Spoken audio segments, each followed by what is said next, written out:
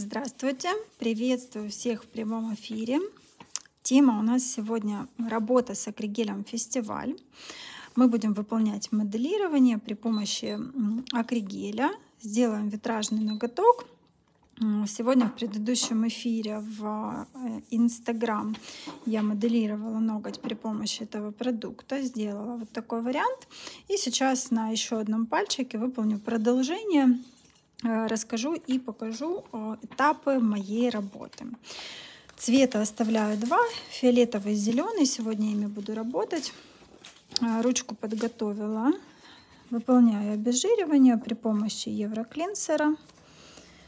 Обезжириваю ногтевую пластину.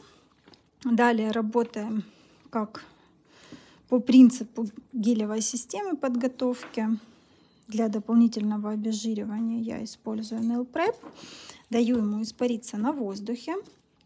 Он подсыхает, выводит остатки влаги масел из натуральной ногтевой пластины. Далее следующим этапом ультрабонд беру и буду наносить его тонким слоем на поверхность ногтевой пластины с отступом от кутикулы без нахлестов и э, остатков жирного блеска. Ультрабонд это грунтовочный препарат. Праймер он подсыхает на воздухе, оставляя на поверхности диспрессионную пленку. Работу сегодня выполняю на себе. Далее наношу супербонд. Это классическое базовое покрытие под твердую гелевую систему. Выставляю кисточку с отступом от кутикулы в миллиметр и такими втирающими движениями тоненько наношу базу на поверхность ноготка. Наносим и отправляем в лампу просушиваться. Сейчас в течение минутки подсушу. Здравствуйте! Приветствую всех, кто присоединяется. Работаем сегодня акригелем фестиваль. Очень комфортный, очень удобный продукт. Материал достаточно жесткий. Он позволяет выполнить э, моделирование большой длины. Работать можно с одной капли, а, как на подложке, так и без нее. То есть можно сразу выкладывать удлинение полностью, всю архитектуру на форму без какой-то предварительной выкладки подложки. Так, еще чуть-чуть подсушим. Работать будем сегодня на формах. Формы на клеевой основе. Формы одноразовые, длину имеют достаточно большую, поэтому чрезмерное удлинение по линии перфорации, которая присутствует у нас на форме, я линию перфорации эту сгибаю и излишнее удлинение убираю. Конечно, если вы моделируете на полную длину, очень длинные ногти, а, то эта подложка нам необходима. Я ее убираю. Форму снимаю с липкой основы. Базу я подсушила. Формы очень липкие. Они хорошо прилипают. Хорошая клеевая основа. Я подклеиваю окошко жесткости таким образом, чтобы с внутренней стороны форма полностью была липкая. Затем разрезаю верхние части по линии перфорации. Беру форму двумя руками, но, естественно, ставить одной буду. Сначала я задаю изгиб поперечный, то есть ну, фиксирую форму в том изгибе, который мне необходим. Затем в скрученном состоянии я сначала завожу форму под уголочки, видите, вот под углы завела под один и под второй, и затем я вставляю середину. Таким образом, чтобы у меня не оставалось зазора между формой стыка между формой и свободным краем ногтевой пластины. Перчаточку отклеиваем. Форму можно сразу немножечко подтянуть относительно фронтальной оси. Ну, вот видите, хорошо стало, зазора никакого нет. И далее следующим этапом я склеиваю нижние боковые части, стараюсь сделать это ровно. Именно вот эту часть я склеиваю таким образом, чтобы мне не образовывалось нахлеста.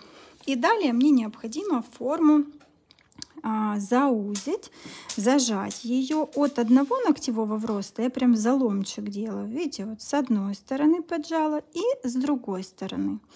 Поджимаю снизу и плавно двигаюсь к носику, к свободному краю, так, чтобы у меня при взгляде с торца капелька была ровная. Заузила форму. Смотрите, так как мы моделируем миндалевидную форму ногтей, я установила форму с легким, с легким наклоном вниз для формирования ровных боковых параллелей. Зажимаем еще раз, контролируем, а, смотрим, чтобы форма у меня стояла ровно чуть-чуть. Ее сейчас подтяну, подправлю.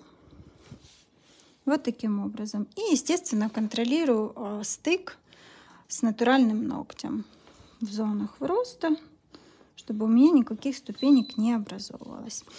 Далее мне понадобится очищающий спрей.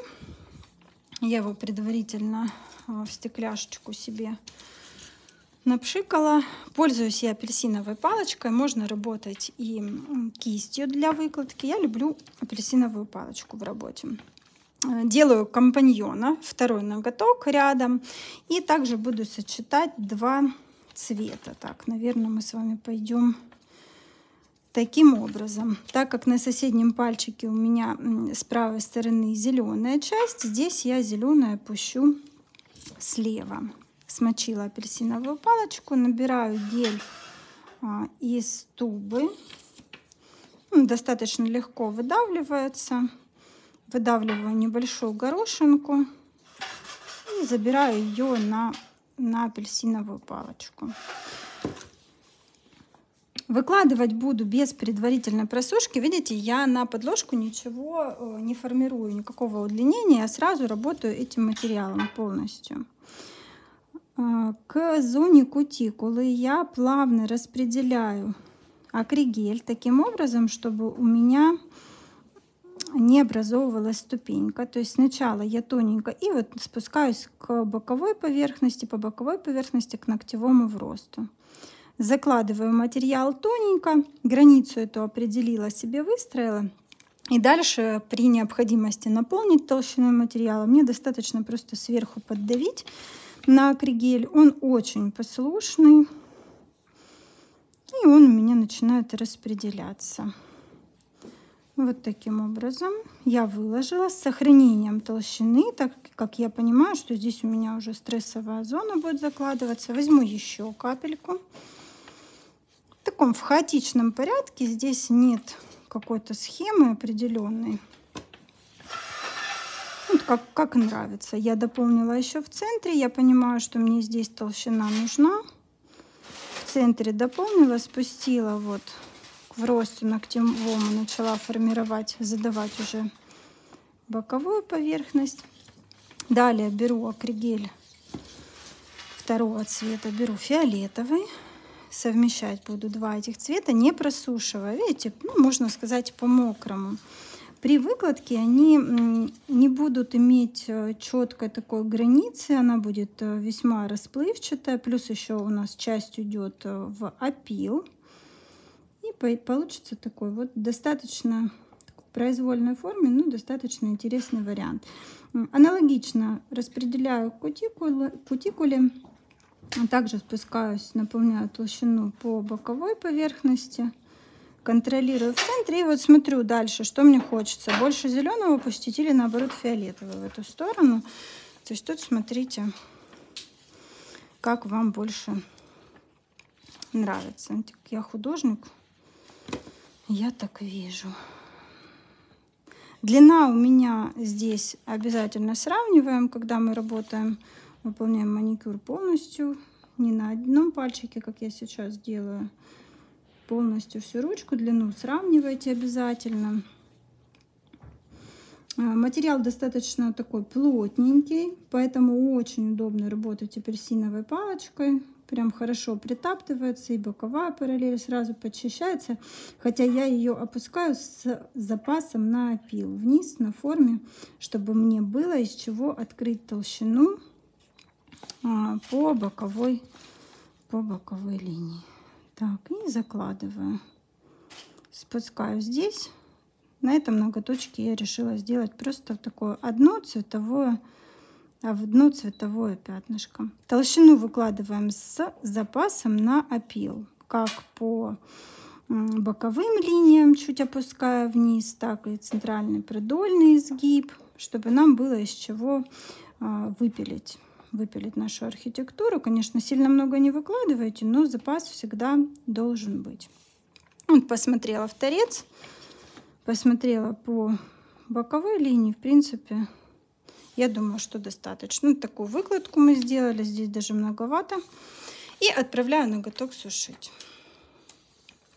А, время полимеризации материала 2 минуты. А, просушить нужно хорошо, хотя а, акригель, как вы обратили внимание, он имеет такую легкую полупрозрачность, то есть не плотно пигментирован, за счет чего просушка проходит быстрее, чем у материалов с сильной плотностью пигментации. Варианты 4 цвета. 4 варианта, очень красивые, они все друг с другом сочетаются, можно в различных вариациях использовать. А, внутри, в составе этого материала есть декоративные элементы, они более крупный шиммер имеется, более мелкий. Хорошая основа под дизайн. Сейчас а, и уже ближе к новогодним праздникам тоже достаточно актуально будет.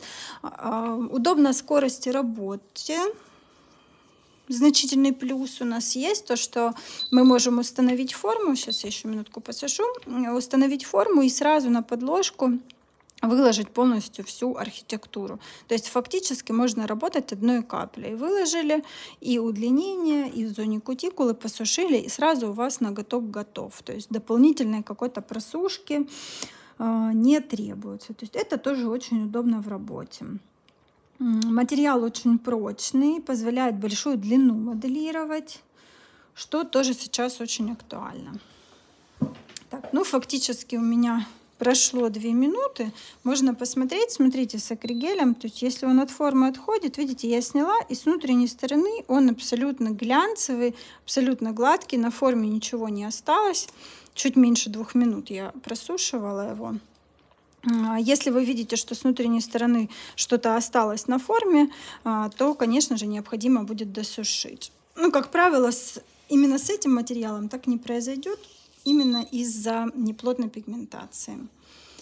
А, с любым акригелем, да, совершенно верно, без дополнительной подложки можно работать с любым акригелем. Этот материал не течет, позволяет нам выполнять работу полностью с одной капли моделирования я просушила, теперь я поверхность обезжириваю, и я уже могу переходить к опилу. То есть, видите, это очень удобно, а, очень быстро. Для опила понадобится пилочка 100 на 180 единиц для искусственных ногтей.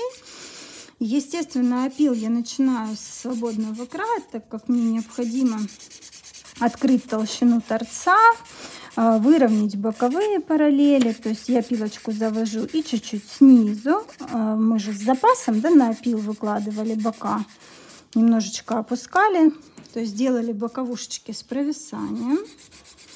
Сейчас я это провисание убираю, выравниваю.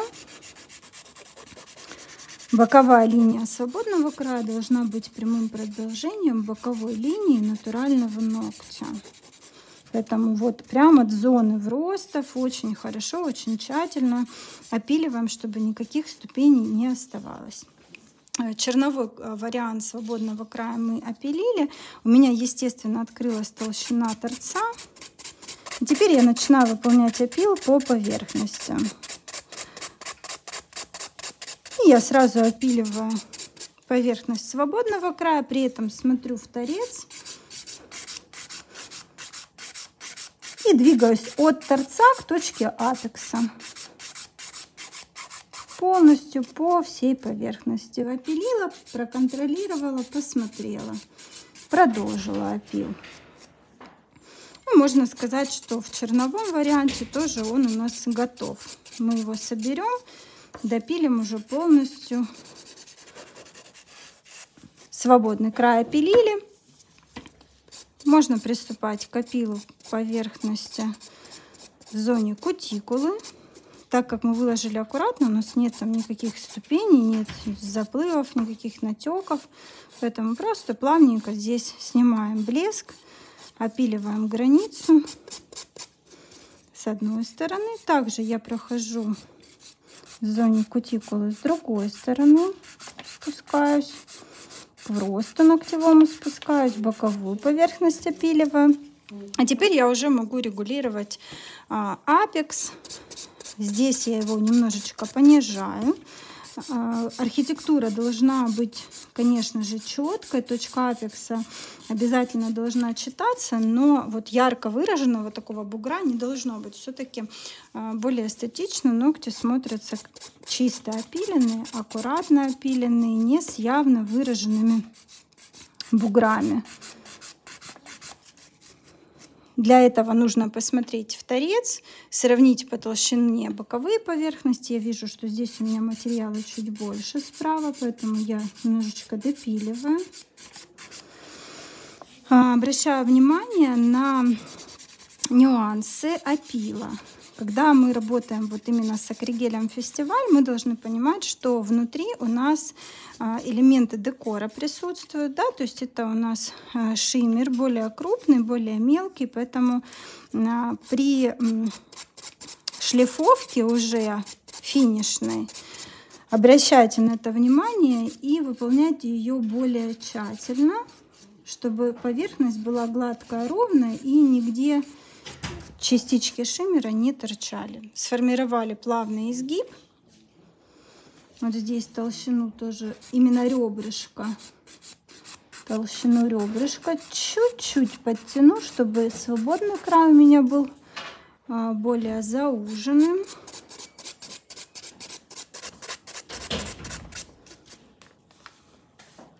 Вот такой вариант. Ну, в общем-то, мы ноготок собрали, можно приступать уже к шлифовке по поверхности. Делаю это шлифовщиком для искусственных ногтей. Выполняю шлифовку тщательно и в зоне кутикулы, и в росты, и боковые параллели. То есть полностью весь ноготок. Обязательно по торцу хорошо шлифуйте, а, чтобы не оставалось такого зубчатого филенчатого свободного края, филенчатого торца. Хорошенько подшлифовываем. Можно сначала пройти а, более грубой стороной, а уже финишную шлифовку выполнить более мягкой. Вот прям гладенький-гладенький он остается. Когда вы хорошо шлифуете, проблем никаких потом с покрытием не возникает. А, влажная салфетка убираю излишки опила, чтобы они мне в дальнейшем не мешали в работе. А, убираю, обезжириваю остатки. Сейчас, секундочку. Остатки салфеткой безворсовой и евроклинсером. Смотрите, такой вариант можно оставить как в глянце, если вам это нравится, можно выполнить матовый. Вот видите, я на соседнем пальчике, он у меня в матовый. Тщательно убираю опил с внутренней стороны.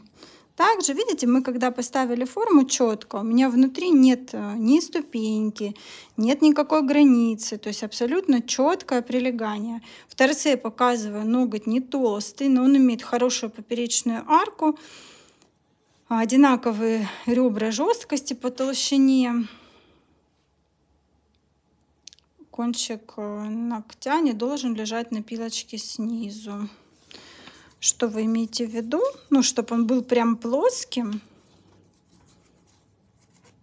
Ну, если он будет более изогнутым, более арочным, но опять-таки какая длина, возможно, он будет лежать.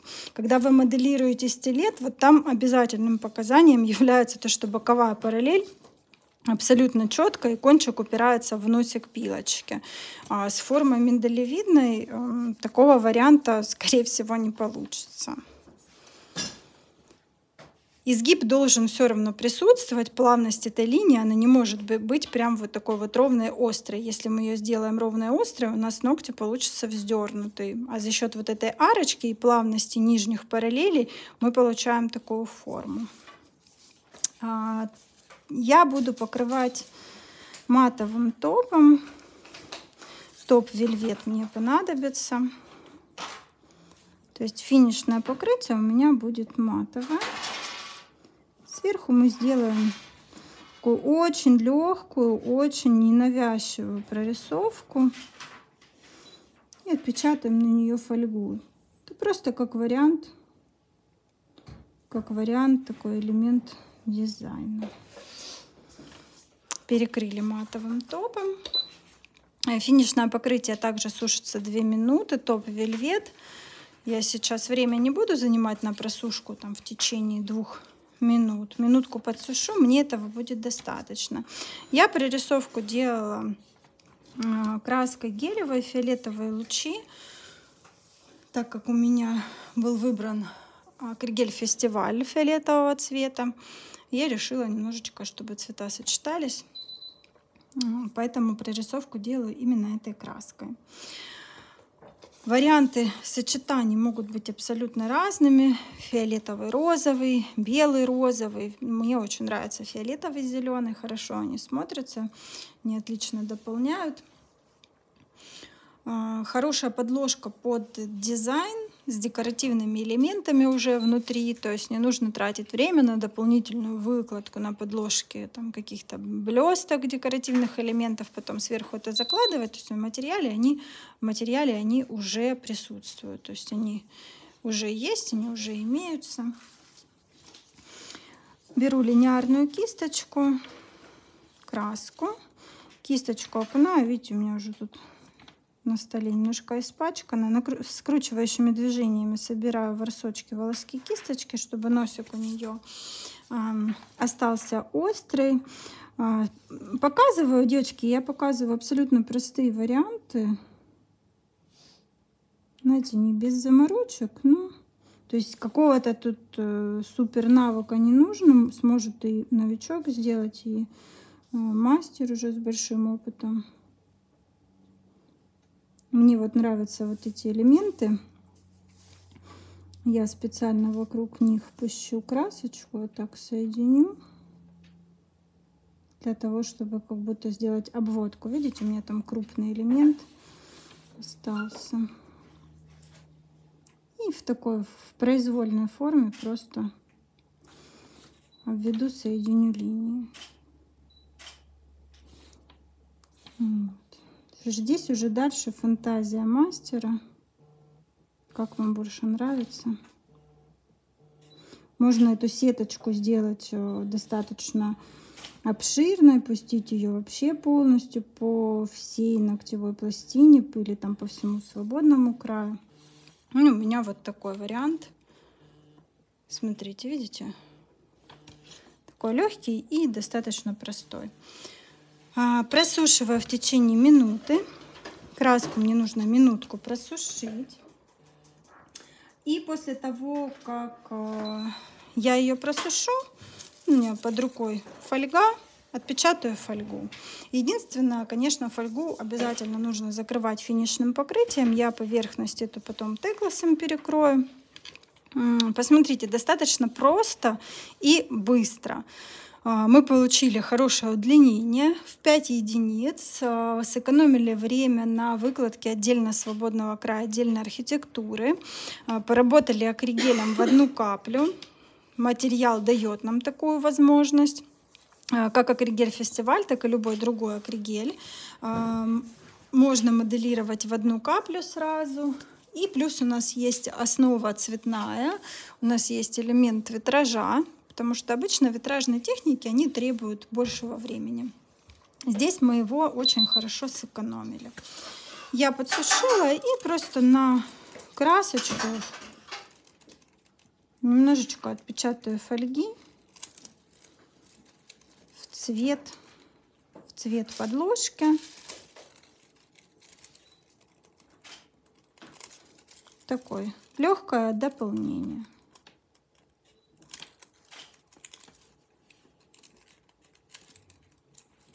Все отлично отпечаталось. С кожи излишки убрать просто. И теперь мы просто берем топ теклас и в эту линию по поверхности сверху перекрываем топ текласом. Ну, буквально повторяем. У нас такая незатейливая эта линия получилась.